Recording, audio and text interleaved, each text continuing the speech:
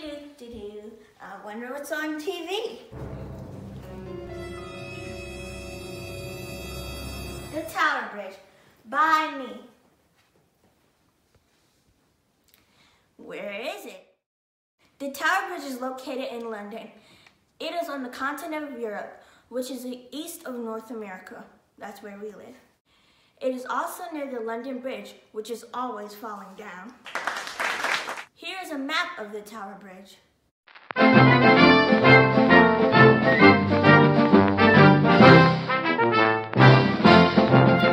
More about its location.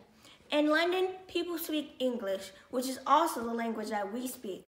In London, the weather has an average temperature of 66 degrees Fahrenheit in the summer and 42 degrees Fahrenheit in the winter.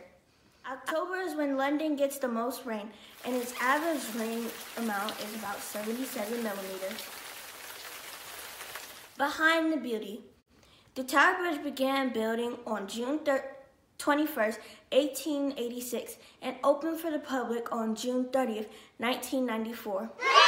It is a combined bascule and suspension bridge.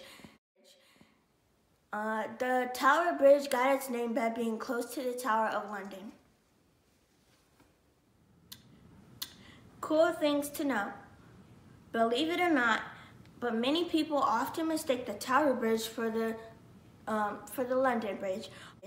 Although they are in the same area, they are not the same bridge. The central span of the bridge the middle part, can be raised to let boats pass by. The bridge is 244 meters long and each tower is 66 meters high.